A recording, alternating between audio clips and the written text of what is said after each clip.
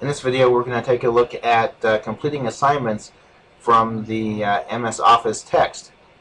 First what we'll take a look at is uh, creating a folder structure for saving homework, opening student data files for assignments, and then uh, saving those assignments. So initially what we'll take a look at is creating a folder structure um, that you may have already. Uh, this is typically a uh, first semester course or certainly first year course and and so I wanted to give you just a quick rundown on how you might create a folder structure to save your homework. Uh, you might create a folder called homework within your documents uh, folder. And in this case uh, create a course or a folder called CS110 you may have uh, you may be in the AGE or BCIS course. So uh, so make those changes as is appropriate. Within that folder you probably want to put in Access, Excel, Integration, PowerPoint, and Word as folders. Enter those. And then finally, as soon as you get a little while um, into uh, a little time into the course, you'll have these particular assignments sitting out there in that Word folder.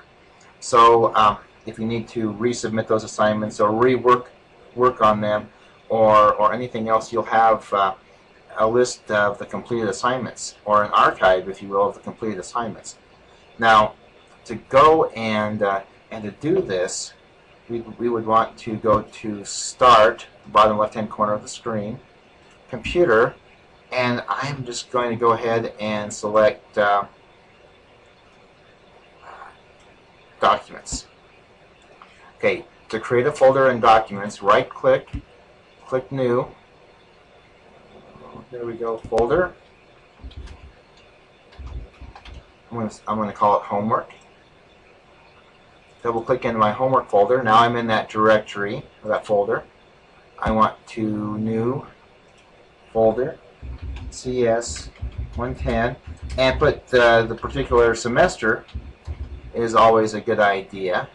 Now if you have other classes, again, um, in the example, I think I had a, a psych course, Psych 100. Now in the CS 110 course, or AGE 250 or BCIS 110. I'll double click into this course, right click, and then put in, uh, I know I'm going to have Word assignments. I know I'm going to have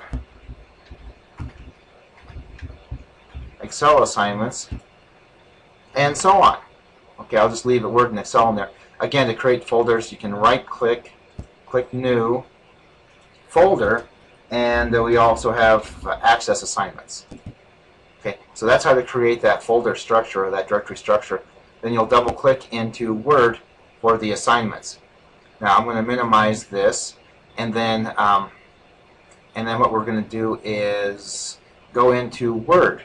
And if you follow along in the text, I'm going to start at uh, Unit B, page uh, Word 26 and we're going to start working on that uh, tutorial from uh, from Unit B. So I'm going to go and uh, there we go. Guess I'll need to leave that open and uh, find Word, Microsoft Office, Word 2010. Okay, now, so I've opened Word.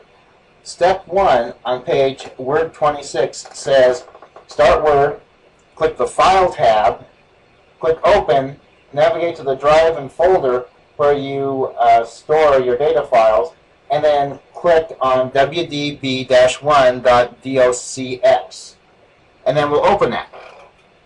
Okay, so File, Open, and remember in the last video where we put our data files.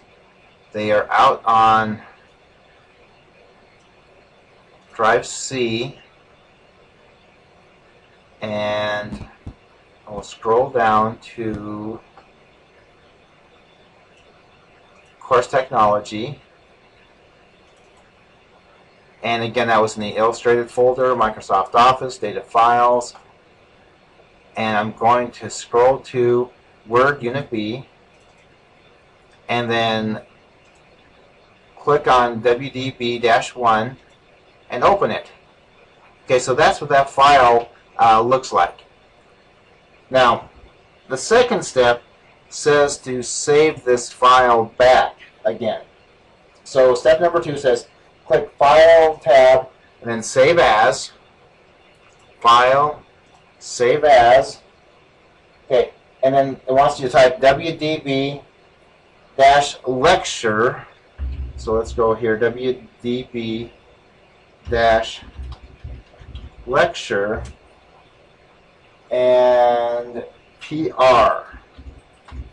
Okay, that's all well and fine. But if you notice, the default directory is Word Unit B. That's where the data files come from. I need to go and save this file into my new uh, directory structure that I've made. So I'm going to go to Documents. You notice how it's now changed to Library and Documents. Double click Homework. Double click um, CS110. Double click Word. And I'm in my Word folder. We can see we're in Homework, CS110, and Word, and then save it there. Okay. Now, the tutorial steps will help, will go out and uh, allow you to do some editing, or will ask you to do some editing on this particular file. So it doesn't change a lot. The final look of this file is, it looks like this. So, um, contact your name, and we can see there are some uh, paragraphs down here the, and take a look at the formatting and we'll take a look at the original and there's additional paragraphs in in the original so it's going to ask you to take some paragraphs out change your name and do some basic things like that um,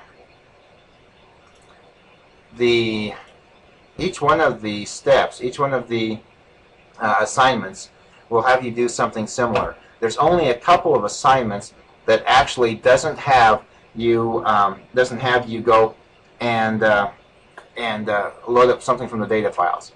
So I think that shows you how to create a folder structure. Uh, we open student data files for assignments, and we saved an assignment. So if you have questions, please holler.